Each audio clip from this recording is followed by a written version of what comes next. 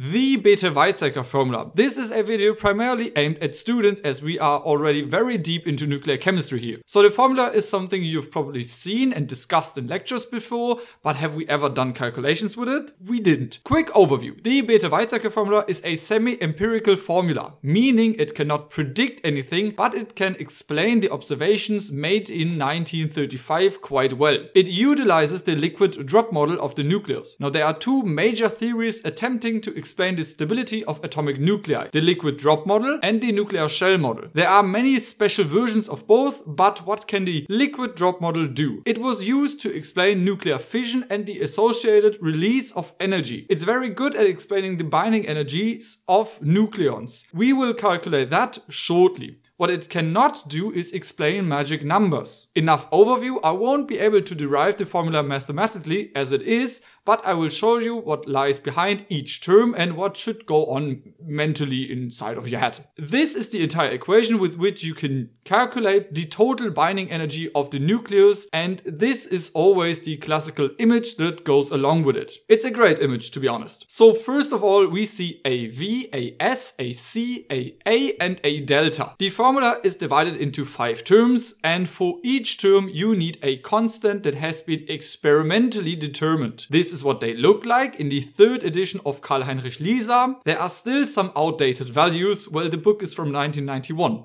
Hmm? There is a different notation for the fourth term, but we will get to that in a moment. First and foremost, A is the number of nucleons, Z is the proton number, N is the neutron number. Let's do this with the example of iron 56 first. Let's start with the volume term. Like in a drop, a water droplet, we have a lot of water molecules held together by hydrogen bonds. The more water molecules around, the better. Right in the middle of the droplet, there are molecules with the maximum number of water molecules bound to it, and thus they have the highest binding energy. Exactly the same in the nucleus. Let's imagine we have a certain number of as yet unidentified nuclear particles, so all of them are the same. No protons, no neutrons, just nuclear particles for now. They are attracted to each other by the strong force. Our constant 15.56 mega electron volts times our 56 nuclear particles, which form our droplet, this brings us to 871.38 mega electron volts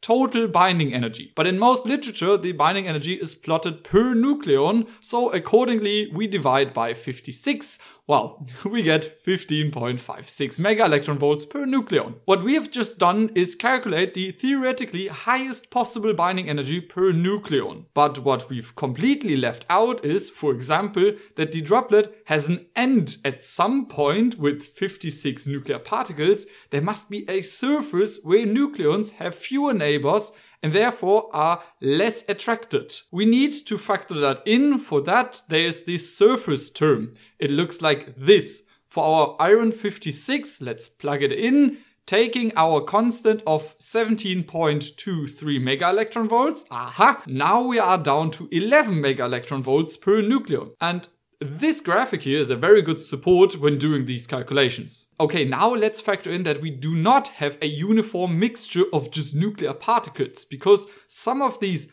unidentified nuclear particles are protons which have a repulsive positive charge. The constant used for this Coulomb term has the value of 0.7 mega electron volts. The fact that we have 26 of these repulsive protons should be taken into account. Now we are down to 8.84 mega electron volts per nucleon. Afterwards, I always divide the value in the calculator by the number of nucleons in this case it's 56. In the symmetry term, we now take into account the other previously mentally unidentified particles as neutrons. In iron 56 we have a neutron surplus, which strictly speaking has a destabilizing effect as neutrons are not as stable as protons. More unstable particles means less binding energy per nucleon. The constant here has the value of 23.285 mega electron volts. Here we only come down to 8.7 to 8 mega electron volts per nucleon with a small correction. Of course, the heavier the nucleus, the higher the neutron surplus, the more important this term becomes. And iron 56 is a GG nucleus, an even number of protons, 26, and with 30 neutrons we also have an even number of neutrons. GG nuclei